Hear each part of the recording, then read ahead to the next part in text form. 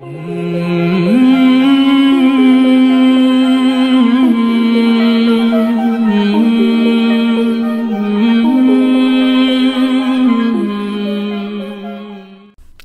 علیکم ورحمۃ اللہ وبرکاتہ۔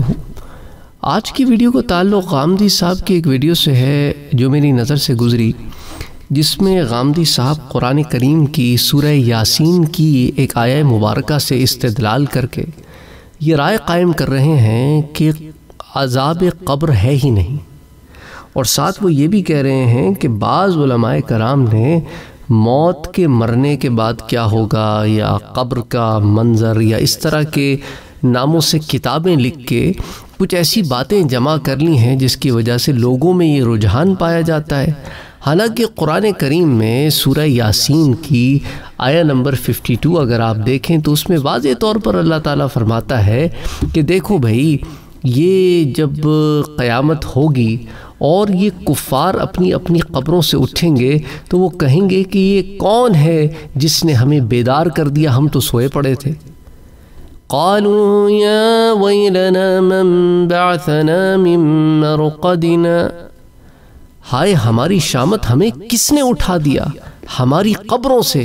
تو وہ تو اپنے مرقد پر ہوں گے، اپنی قبروں میں ہوں گے، آرام سے ہوں گے۔ تو اب جب وہ آرام سے ہوں گے اور قبر میں ہوں گے اور سوئے پڑے ہوں گے اور اٹھائے جائیں گے اور وہ کوئی واویلا بھی نہیں مچائیں گے تو اس سے یہ بات تو صاف ظاہر ہو گئی کہ وہ کسی عذاب کا شکار نہیں ہوں گے کیونکہ جو عذاب کا شکار ہوتا ہے وہ تو شور کرتا ہے، واویلے مچاتا ہے، نہ کہ یہ کہتا ہے کہ میں تو خواب میں تھا، مجھے اٹھا کیوں دیا گیا؟ اب مغالطہ کہاں لگتا ہے جب لوگ قرآن کریم کی ایک آیت کو تو پڑھ لیتے ہیں لیکن باقی آیتوں پر غور نہیں کرتے؟ اور حدیث مبارکہ کا اتنا بڑا ذخیرہ عذاب قبر سے متعلق ہے، اتنا بڑا ذخیرہ ہے کہ جس کو آپ نظر انداز نہیں کر سکتے۔ درجہ صحیح کی روایات کا انبار لگا ہوا ہے۔ قرآن کریم میں بھی اتنے دلائل موجود ہیں جس سے عذاب قبر پر دلالت ہوتی ہے، تو وہ لوگ جو یہ کہتے ہیں کہ قرآن کریم میں عذاب قبر کی بات ہی نہیں ہوئی، وہ ان کا مغالطہ ہے۔ اور آج اسی پر بات کریں گے، قرآن سے بات کریں گے۔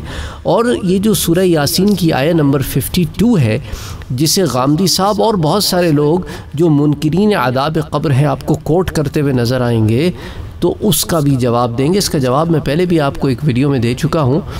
کہ جب دونوں سوروں کے درمیان کا جو وقفہ ہوگا نا، جب پہلا سور پھونکا جائے گا، اس کے بعد جب دوسرا سور پھونکا جائے گا، تو پہلے سور پھونکے جانے پہ تو سب ختم ہو جائے گا۔ پھر دوسرے سور پھونکے جانے پر ہر چیز کو اثر نو تخلیق کر کے اٹھایا جائے گا اور جسموں کو اور روحوں کو ملایا جائے گا۔ وہ ادن نفوس زوجت تو اس کے بعد جب یہ قبروں سے اٹھیں گے، تو وہ جو پہلے سور سے دوسرے سور کے درمیانی وقفہ ہوگا، اس میں عذاب قبر اٹھا لیا جائے گا۔ تو اب یہ جو وقفہ ہے، چالیس، جس پر بات پہلے کر چکے ہیں کہ چالیس سے کیا مراد ہے ایک اور درس میں، تو وہ آپ سن سکتے ہیں دو سوروں کے درمیان کتنا وقفہ ہوگا۔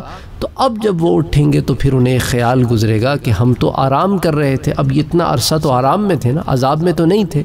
ہمیں کس نے اٹھا دیا؟ اور پھر جب نظریں پڑیں گی، کہیں گے، او، وہ بات تو ٹھیک تھی جو اللہ کے نبی کہتے تھے۔ اللہ کے رسول کہتے تھے کہ ایک دن اٹھنا ہے اور رب کو جواب دینا ہے۔ تو اس آیا مبارکہ کے بارے میں لوگوں کو یہ مغالطہ لگا ہے۔ وہ کہتے ہیں کہ اگر عذاب قبر ہوتا تو کیا عذاب کی جگہ کو کوئی خوابگاہ کہتا؟ اس لیے اس آیت سے ثابت ہوتا ہے، وہ کہتے ہیں کہ لوگوں کو ان کی قبروں میں سلا دیا جائے گا اور قیامت کے دن اٹھایا جائے گا اور ایک اور اعتراض کرتے ہیں، اگر قبر میں ہی جنت اور دوزخ کا فیصلہ ہو جائے گا تو آخرت کا کیا مقصد؟ جس کو فیصلے کا دن کہا گیا ہے۔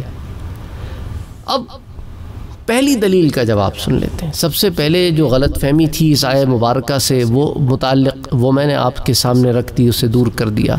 اب قرآن مجید سے عذاب قبر ثابت نہیں ہے یہ کہتے ہیں۔ حالانکہ اگر قرآن کریم پر غور کریں تو قرآن کریم ہی میں عذاب قبر کی دلیلیں آپ کو مل جائیں گی۔ مثال کے طور پہ، سورہ غافر، جسے سورہ مومن بھی کہتے ہیں اس کو اٹھا کے دیکھیں، اس کی آیا number forty five forty six اس میں اللہ تعالیٰ فرماتا ہے، فوقاه الله سيئات ما مكروا وحاق بآل فرعون سوء العذاب. اور بچا لیا۔ اللہ نے اس کو ان کی چالوں کی برائیوں سے اور گھیر لیا آل فرعون کو بدترین عذاب نے۔ النار يعرضون عليها غدوا وعشيا ويوم تقوم الساعة وادخلوا آل فرعون أشد العذاب۔ آگ ہے جس پر وہ پیش کیے جاتے ہیں صبح اور شام۔ اور جس دن قیامت قائم ہوگی، اس دن کہا جائے گا کہ داخل کر دو فرعون کی قوم کو شدید ترین عذاب میں۔ تو اب یہ آیا کا ترجمہ بڑا واضح ہے کہ اور جس دن قیامت ہوگی، تو اب جو پہلے بات کی جا رہی ہے، وہ قیامت کے قائم ہونے سے قبل کی بات ہو گئی۔ کہ آگ پر پیش کیے جا رہے ہیں صبح و شام۔ اور جب قیامت قائم ہوگی تو دن کہا جائے گا کہ داخل کر دو۔ تو اب جب دو داخل ہو رہے ہیں آگے جہنم میں، تو اب یہ بات کی بات ہو گئی۔ تو آیت بڑی واضح اچھا اسی طرح قرآن کریم میں اور مقامات پر بھی مثال کے طور پہ سورة الانعام اگر آپ دیکھیں اس میں اللہ تعالیٰ فرماتا ہے وَمَنْ أَظْلَمُ مِمَّنْ افْتَرَى عَلَى اللَّهِ كَذِبًا أَوْ قَالَ أُوحِيَ إِلَيَّ وَلَمْ يُوحَ إِلَيْهِ شَيْءٌ وَمَنْ قَالَ سَأُنزِلْ ومن قال سأنزل مثل ما أنزل الله ولو ترى إذ الظالمون في غمرات الموت والملائكة باسطوا أيديهم مخرجوا أنفسكم اليوم تجزون عذاب الهون بما كنتم تقولون على الله غير الحق. وَكُنْتُمْ عَنْ آيَاتِهِ تَسْتَكْبِرُونَ تو اللہ تعالیٰ فرماتا ہے کہ اس سے بڑھ کر ظالم کون ہوگا جس نے کوئی بات گھڑ کر اللہ سے منسوب کر دی یا اس شخص سے بڑھ کر ظالم کون ہوگا جو یہ کہے کہ مجھ پر وہی کی گئی جبکہ اس پر کچھ بھی وہی نہیں کی گئی ہو اور جو کہے کہ میں اتار سکتا ہوں جیسا کلام اللہ نے اتارا ہے۔ اور کاش تم دیکھ سکتے جبکہ یہ ظالم موت کی سختیوں میں ہوں گے۔ اور فرشتے اپنے ہاتھ آگے بڑھا رہے ہوں گے اور کہہ رہے ہوں گے کہ نکالو اپنی جانیں، آج تمہیں ذلت کا عذاب دیا جائے گا۔ بس سبب اس کے جو تم کہتے رہے تھے۔ اللہ کی طرف منسوب کر کے نہ حق باتیں۔ اور جو تم اللہ کی آیات سے متکبرانہ اعراض کرتے رہے تھے۔ تو قرآن کریم کی اس آیہ مبارکہ سے بھی یہ بات بڑی واضح طور پر سامنے آ جاتی ہے، مجھے اس پر مزید کوئی کلام کرنے کی ضرورت نہیں ہے کہ قرآن کریم کی یہ آیہ مبارکہ بھی بڑی واضح ہے کہ یہ موت کے وقت سے ہی ان پر عذاب شروع ہو جاتا ہے۔ ذلت کی رسوائی، ذلت کی سزا۔ اب آ جائیں سورہ انعام کے بعد سورة الفرقان میں میں آپ کو لے چلتا ہوں۔ اس کی بھی آیہ مبارکہ دیکھ لیتے ہیں۔ سورة الفرقان، اس کی آیہ نمبر 68 اور آیہ نمبر 69 اللہ عز و جل کا ارشاد پاک، والذين لا يدعون مع الله إلها آخر ولا يقتلون النفس التي حرم الله إلا بالحق ولا يقتلون النفس التي حرم الله إلا بالحق ولا يزنون. ومن يفعل ذلك يلقى أثاما. يضاعف له العذاب يوم القيامة ويخلد فيها مهانا. اور وہ لوگ جو نہیں پکارتے اللہ کے ساتھ کسی اور کو معبود کو، اور نہ ہی قتل کرتے ہیں کسی جان کو جس کو اللہ نے محترم ٹھہرایا ہے، مگر حق کے ساتھ، اور نہ ہی کبھی وہ زنا کرتے ہیں۔ اور جو کوئی بھی یہ کام کرے گا، وہ اس کی سزا کو حاصل کر کے رہے گا۔ اور اگلی آیت میں کیا فرماتا ہے اللہ؟ قیامت کے دن اس کا عذاب دگنا کر دیا جائے گا اور وہ اس میں رہے گا ہمیشہ ذلیل ہو کر۔ ٹھیک ہو گئی بات۔ اچھا اب یہ دوگنا عذاب جو ہے نا دگنا عذاب جسے آپ کہتے ہیں، اس پر بھی ذرا بات کر لیں گے۔ لیکن آئیے آپ کو قرآن کریم میں سورہ محمد میں لے چلتے ہیں۔ اس کی بعض آیات کی طرف آپ کے جو ہے وہ نشاندہی کرانا چاہتا ہوں، جس میں اللہ تعالیٰ فرماتا ہے ان الذين ارتدوا على ادبارهم من بعد ما تبين لهم الهدى الشیطان سول لهم واملا لهم. یقیناً وہ لوگ جو پھر گئے اپنی پیٹھوں کے بل اس کے بعد کہ ان پر ہدایت واضح ہو چکی۔ شیطان نے ان کے لیے ارتداد کا یہ مرحلہ آسان کر دیا ہے اور انہیں لمبی لمبی امیدیں دلائی ہیں۔ ذَلِكَ بِأَنَّهُمْ قَانُوا لِلَّذِينَ كَرِهُوا مَا نَزَّلَ اللَّهُ سَنُطِيعُكُمْ فِي بَعْضِ الْأَمْرِ۔ والله يعلم إسرارهم. یہ اس لیے ہوا کہ انہوں نے ان لوگوں سے جنہیں اللہ کا نازل کیا ہوا قرآن ناپسند ہے کہ کہا کہ ہم بعض امور میں تمہاری اطاعت جاری رکھیں گے اور اللہ کو ان کی خفیہ باتوں کا خوب علم ہے۔ فَكَيْفَ إِذَا تَوَفَّتْهُمُ الْمَلَائِكَةُ يَضْرِبُونَ وَجُوهَهُمْ وَأَدْبَارَهُمْ تو کیا حال ہوگا؟ ان کا اس وقت جب فرشتے ان کی جانیں قبض کریں گے، ضربیں لگاتے ہوئے ان کے چہروں پر اور ان کی پیٹھوں پر۔ تو عذاب تو ان کا شروع ہو گیا۔ یہ آیت بھی بڑے واضح ہے۔ تو قرآن مجید میں یہ وہ مقامات ہیں میرے بھائیوں اور میری بہنوں کہ جن سے عذاب قبر ثابت ہوتا ہے اور اس میں ہر قسم کے لوگ ہیں، کافر مشرق منافق، گناہگار۔ تو صرف یہ کہنا کہ یہ کافروں کے لیے خاص ہیں، یہ بھی ٹھیک نہیں ہے۔ ان سب کے بارے میں عذاب قبر کی وعید ہے۔ اس کے بعد سورہ یاسین کے حوالے سے عذاب قبر کی نفی کی جو کوشش کی گئی ہے، اس کے بارے میں میں نے آپ کو بڑی تفصیل سے بتا دیا ہے۔ اور مفسرین کرام نے ہی اس کو یوں بیان فرمایا ہے کہ سورہ یاسین والی آیت، جسے عذاب قبر کی نفی میں استعمال کیا جاتا ہے، دراصل اس کی تفسیر ہی کچھ اور ہے۔ اور بعض علماء کرام نے اس کو یوں بھی بیان کیا ہے کہ یاد کرو، اللہ تعالیٰ نے عالم ارواح میں ایک ہم سے وعدہ لیا تھا، جس کے بارے میں قرآن کریم میں نشاندہی بھی موجود ہے کہ یاد کرو أَلَمْ عَاهَدِينَيْكُمْ يَا بَنِي آدَمَ أَلَّا تَعْبُدُ الشَّيْطَانِ انہو لکم عدو مبین اے آدم کی اولاد، کیا میں نے تم سے یہ وعدہ نہیں لیا تھا کہ تم شیطان کی بندگی مت کرنا؟ بے شک وہ تمہارا کھلا دشمن ہے۔ اس کے باوجود یہ وعدہ انسان بھول گیا۔ اور یہ بھی کہا کہ وَأَنِ عَبُدُونِ اور میری ہی بندگی کرنا۔ هَذَا صِرَاطٌ مستقیم۔ لیکن وہ وعدہ پھر یاد دلایا جا رہا ہے۔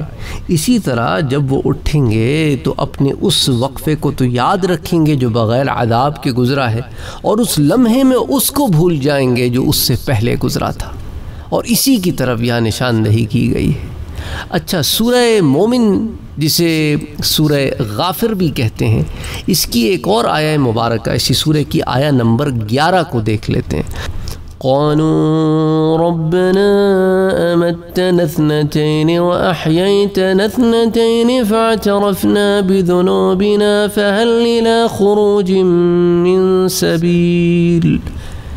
وہ فریاد کریں گے کہ اے ہمارے رب تو نے ہمیں دو دفعہ مارا اور دو دفعہ زندہ کیا، تو اب ہم نے اپنے گناہوں کا اعتراف کر لیا ہے، تو کیا اب یہاں سے نکلنے کی بھی کوئی راہ ہے؟ تو اب اس آیہ مبارکہ کو بھی بعض لوگ دلیل کے طور پہ استعمال کرتے ہیں کہ دیکھو اللہ نے تو دو موتوں کا ذکر کیا ہے۔ اب قرآن کریم میں تیسری موت اور زندگی کا ذکر بھی موجود ہے۔ آپ نے اگر سورہ بقرہ کی آیات پڑھی ہوں، جس میں ایک آدمی کا ذکر ہے جو ایک بستی سے اس حالت میں گزرا کہ وہ اپنی چھتوں پر گری گری ہوئی تھی، تو وہ شخص نے کہنے لگا کہ اللہ اس بستی کے مردوں کو کیسے زندہ کرے گا؟ سو اللہ نے اس شخص کو سو برس تک مردہ رکھا، پھر اس کو زندہ کر اٹھایا۔ پوچھا کہ کتنی دیر اس حالت میں رہے، اس شخص نے جواب دیا کہ ایک دن یا اس سے کم۔ اللہ نے فرمایا کہ نہیں، بلکہ تو تو سو برس رہا ہے۔ اپنے کھانے پینے کو دیکھ لے کہ نہیں، سڑی گلی کوئی بھی چیز اور گدے کو بھی دیکھ لے۔ وہ تو ختم ہو گیا اور تاکہ ہم تجھ کو ایک نظیر لوگوں کے لیے بنا دیں اور ہڈیوں کی طرف نظر کر اس کے کہ ہم ان کو کس طرح ترتیب دیے دیتے ہیں۔ پھر جب اس شخص پر سب کیفیت واضح ہو گئی تو کہہ اٹھا کہ میں یقین رکھتا ہوں کہ بے شک اللہ ہر چیز پر قادر ہے۔ اور قرآن مجید میں اللہ نے نیند کو بھی موت سے تعبیر کیا ہے۔ اور فرمایا کہ وہی ہے کہ رات میں تمہاری روح قبض کر دیتا ہے اور جو کچھ تم دن میں کر چکے اس کو جانتا ہے، پھر تم کو اس میں اٹھا دیتا ہے تاکہ معین میاد جو ہے تمہاری زندگی کی تمام ہو جائے۔ پھر اسی کی طرف تم کو لوٹ کر جانا ہے، پھر تم کو بتا دے گا جو تم کرتے رہے ہو۔ صورت الانعام میں اس کی طرف بھی اشارہ فرماتا ہے۔ تو دیکھیں، پہلی آیت سے دنیا میں ہی تیسری موت اور زندگی کا تصور ہمیں مل گیا۔ تو جو اللہ دنیا میں موت دے کر زندہ کر سکتا ہے، تو وہ قبر میں بھی زندگی دے سکتا ہے اور قبر کی زندگی کو تو عالم برزخ کہتے ہیں، جس کا ذکر بھی قرآن کریم میں موجود ہے۔ اور دوسری آیت کے مطابق تو ہر روز کی موت اور زندگی ثابت ہے۔ اور اس کی وضاحت اس حدیث سے بھی ہوتی ہے، جس کا مفہوم یہ ہے، حضرت حضیفہ نے بیان کیا کہ حضور صلی اللہ علیہ وسلم بیدار ہوتے کہتے تمام تعریفیں صلی اللہ کے لیے جس نے ہمیں زندہ کیا، اس کے بعد کہ ہمیں موت دے دی تھی۔ اور اسی کی طرف ہمیں جانا ہے۔ بخاری شریف کی روایت ہے یہ۔ اور اس کے بعد قرآن مجید کی آیات کا مطالعہ ہم نے کیا تو اس سے بات روشن ہو گئی، واضح ہو گئی۔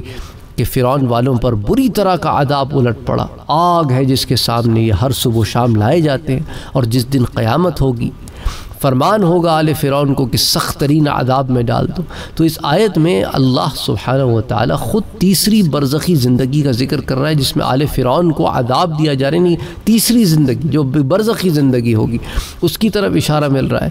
تو غامدی صاحب کا جو موقف ہے کہ عذاب قبر کے بارے میں یہ کسی مورد نام کے کسی آرگنائزیشن کے سرپرست اعلیٰ بھی ہیں، اپنے آپ کو اسکالر بھی کہتے ہیں، بہرحال جو بھی ہو ان کا، تو وہ کہتے ہیں کہ یہ اعمال نامے جو ہیں، ان کے متعلق وہ عذاب قبر کے بارے میں، ان کی الگ رائے ہے جو اس کا اظہار میں نے آپ سے کیا۔ وہ کہتے ہیں کہ بھئی اعمال نامے میں گناہ بھی ہیں اور ثواب بھی ہیں تو ان کو قیامت کے لیے سلا دیا جاتا ہے اور ان کا فیصلہ قیامت میں ہوگا۔ یعنی اگر گناہ گار ہیں تو ان پر قبر کا عذاب ہی نہیں اور کافر اور فرعون کے لیول کے جو لوگ ہیں ان کو عذاب ہوگا۔ تو جواب تو قرآن میں واضح موجود ہے کہ جو گناہ گار ہیں اور اگر اللہ کے یہاں عذاب کے مستحق ہیں تو ان پر بھی عذاب قبر ہوگا۔ جیسے قرآن کریم کی آیا میں موجود ہے کہ جو لوگ اللہ کے ساتھ کسی اور کو معبود نہیں پکارتے اور جس جان کو اللہ نے حرام کیا ہے، اس کا خون نہیں کرتے۔ ہاں مگر حق پر اور زنا بھی نہیں کرتے۔ اور جو شخص ایسے کام کرے گا تو اس کو سزا ملے گی۔ تو قیامت کے دن ان کے عذاب کو دگنا کر دیا جائے گا۔ یہ ایک اور جگہ موجود ہے اور اس میں ہمیشہ ہمیشہ ذلیل ہو کر رہیں گے۔ اور جو توبہ کرے، ایمان لائے اور نیک عمل کرے، تو ایسے لوگوں کی برائیوں کو اللہ نیکیوں سے بدل دے گا اور اللہ بخشنے والا مہربان ہے۔ تو اگر ہم ان آیات پر غور کریں تو اس آیت سے ہمیں یہ بات معلوم ہوتی ہے کہ جو شرک زنا یا قتل کرے گا، تو اس کو سزا ملے گی، قیامت میں اس کے عذاب کو دگنا کیا جائے گا، تو کم عذاب اس کو کہاں ہوگا جب دگنا کیا جا رہا ہے؟ تو وہ عذاب قبری ہوگا جو جو جو ٹو ٹائمز کیا جا رہا ہے۔ اور قیامت میں اس کو دگنا کر دیا جائے گا۔ مگر اگر جو توبہ کرے، اس توبہ کے الفاظ سے یہ بات معلوم ہوتی ہے کہ گناہ گار لوگ ہوں گے۔ اگر توبہ کریں گے تو اللہ اپنی رحمت سے ان کو معاف کر دے گا۔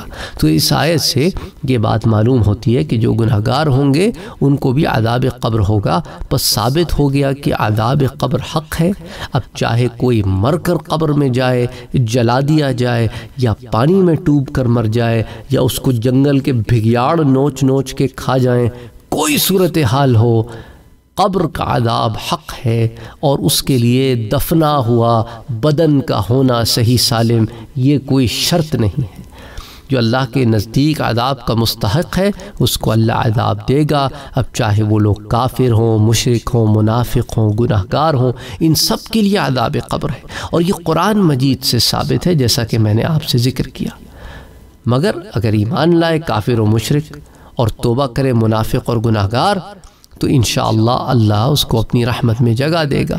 اللہ ہم سب سے عذاب قبر کو دور فرمائے اور اپنی رحمت میں جگہ عطا فرمائے۔ منکرین عذاب قبر کی کچھ اور اعتراضات بھی ہیں، اس پر انشاءاللہ تعالی پھر اگلی دفعہ بات کریں گے۔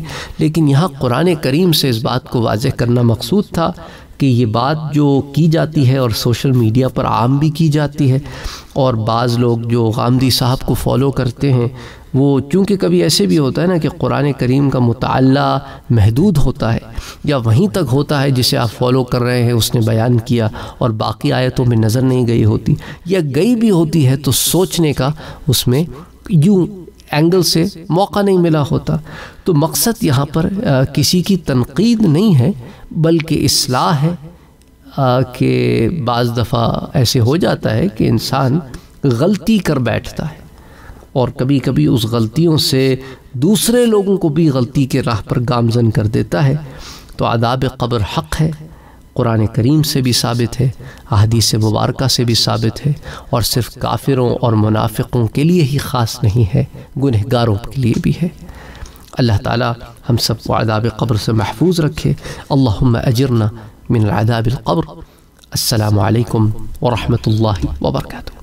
اگر آپ نے ابھی تک ہمارے چینل کو سبسکرائب نہیں کیا ہے تو سبسکرائب کا بٹن دبائیں، بیل کے آئیکن کو پریس کریں تاکہ آپ کو ریگولر نوٹیفیکیشن اپڈیٹس مل سکے اور آپ ہمیں ہمارے لائیو سیشنز میں بھی جوائن کر سکیں۔ ویڈیو پسند آنے کی صورت میں لائک شیئر اور کمنٹ کرنا نہ بھولیں۔